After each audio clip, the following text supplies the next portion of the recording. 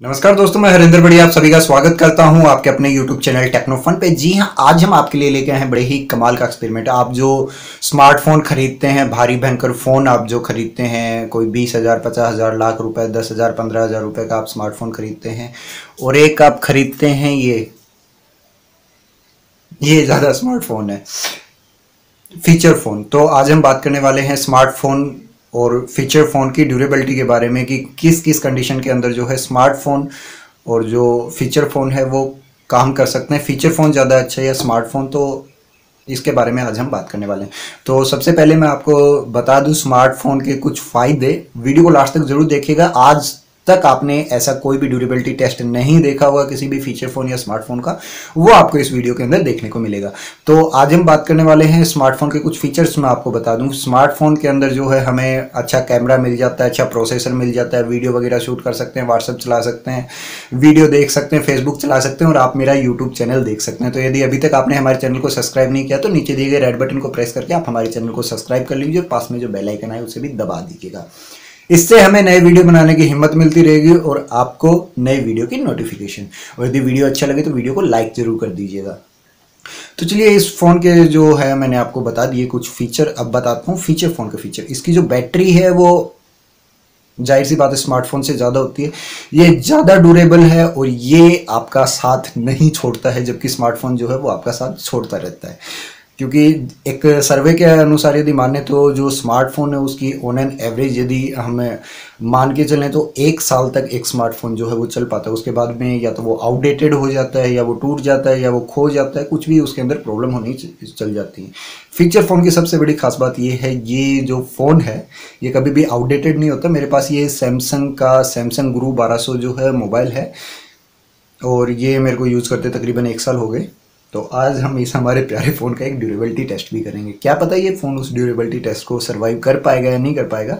और देखते हैं कि हमारा जो ये स्मार्टफ़ोन है, ये उसको जो ड्यूरेबिलिटी को है, कहाँ तक सरवाइव कर पाता है? फुल्ली वर्किंग फ़ोन है, एकदम न्यू कंडीशन के अंदर है और इसे भी खरीदे तकरीबन मेरे को एक साल हो चुका है।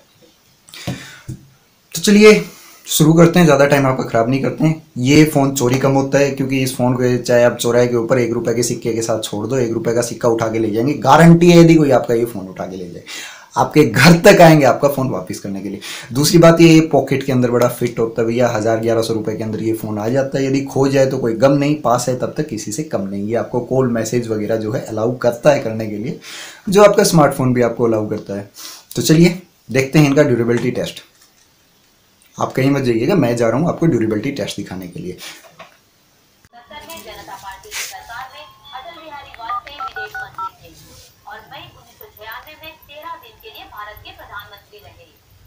ग्वालियर में जन्मे कानपुर में बड़े अटल बिहारी वाजपेयी ने आज़ादी की लड़ाई में हिस्सा लिया और उन्नीस सौ बयालीस में जेल गए। उन्नीस सौ पचहत्तर में इमरजेंसी के दौरान इन्हें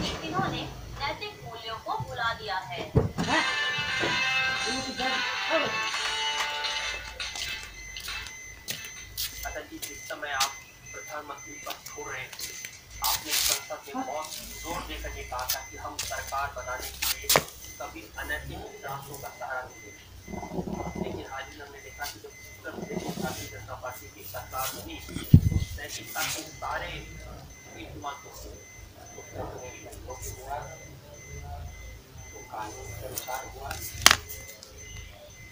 संविधान के अनुसार हुआ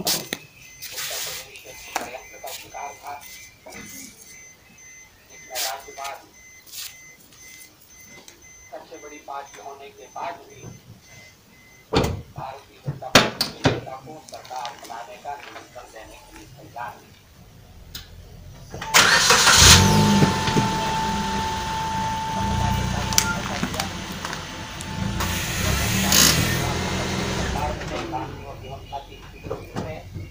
तो ऊपर का काट दिया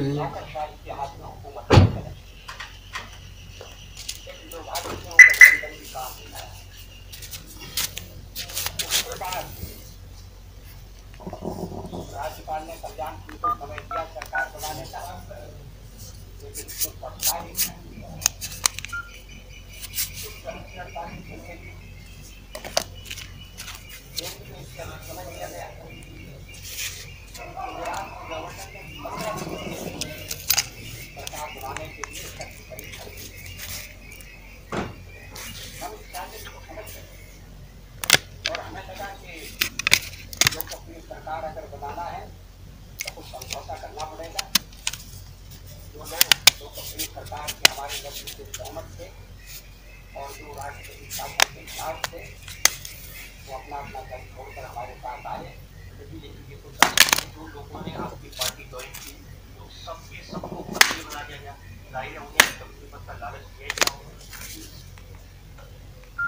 वो कांग्रेस छोड़ना चाहते देखा, ये था हमारा ड्यूरेबिलिटी टेस्ट इसके अंदर हमने जो है स्विफ्ट कार जो है, वो फीचर फ़ोन पे और स्मार्टफ़ोन पे चढ़ाई है तो आप स्मार्टफ़ोन की हालत देख सकते हैं। ये इवन ऑन नहीं हो रहा है। पूरी स्क्रीन जो है, वो इसकी टूट चुकी है और ये हमारा फीचर फ़ोन जो है, ये फुल्ली वर्किंग कर रहा है। तो ये आप मान सकते हैं कि एक तरीके से ये फ़ोन जो है, आपके लिए ज़्यादा ड्यूरेबल हो सकता है और आप इस पर ज़्यादा विश्वास कर सकते हैं फीचर फ़ोन पे। तो ये था छोटा सा वीडियो उम्मीद करते हैं वीडियो आपको पसंद आ गया वीडियो को आपने लाइक नहीं किया अभी तक तो लाइक कीजिए और भैया खर्चा लगा, एक स्मार्टफ़ोन टूटा है तो इसके भरपाई के लिए आप हमारे चैनल को सब्सक्राइब कर दीजिए। वैसे चैनल सब्सक्राइब करने का आपका कुछ लगता नहीं है तो नीचे दिए गए रेड बटन को प्रेस करके आप हमारे चैनल को सब्सक्राइब कीजिए और पास में जो बेल आइकन है, उसे भी दबाइए। हम आपके लिए टेक्नोलॉजी से जुड़े और भी वीडियो लेके आते रहते हैं। इस वीडियो में इतना ही, धन्यवाद।